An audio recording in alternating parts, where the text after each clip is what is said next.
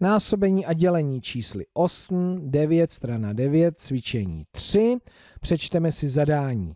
Doplňte znaménka plus, minus, krát nebo děleno. Prohlédnu si první sloupeček.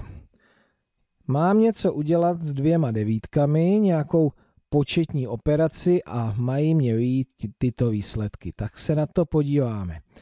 Tak, abych dostal z těchto dvou devítek 18, tak je sečtu.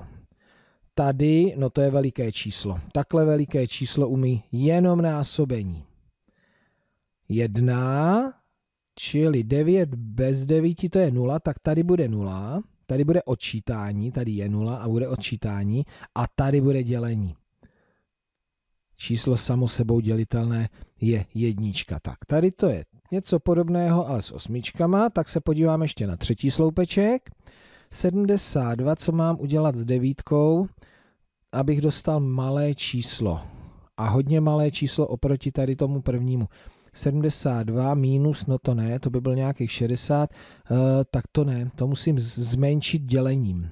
72 děleno 9 rovná se 8 tak tady to zmenším na nižší číslo, a ne, ale ne tolik, takže tady to odečtu, je to tak?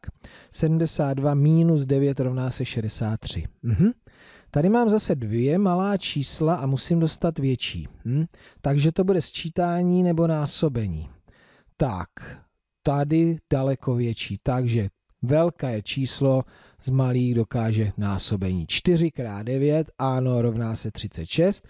No a jenom trošku větší číslo dokáže sčítání. 4 plus 9 rovná se 13. Bezva, tohle je hezké cvičení. Takže druhé a čtvrté, druhý a čtvrtý sloupeček dokážete taky.